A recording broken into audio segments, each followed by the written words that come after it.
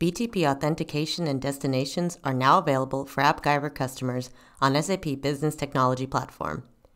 This now makes it even easier to access and utilize data from any cloud or on premise SAP system within AppGyver's no code environment.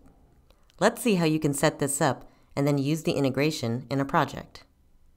First, you'll need to enable SAP authentication for your app. Head to the Auth tab and select Enable Authentication. Choose SAP BTP Authentication, confirm your choice, and then save the configuration. Now that authentication is enabled, an additional page is added to your app automatically. This checks the credentials of the end user coming from an SAP BTP account. Now we can start using BTP destinations as a data source. From the Data tab, you can select Add Integration and then BTP destinations to see all of the connections that have been configured in your BTP account.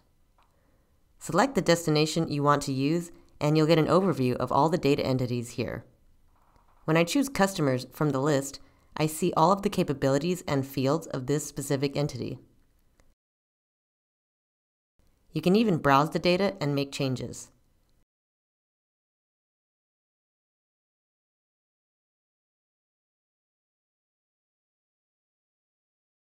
Then you can install the integration and enable it as a data entity. Now we'll show how to utilize this integration in your app. The easiest way to do this is with the data component. Install a basic list component from the marketplace and drag it onto the canvas.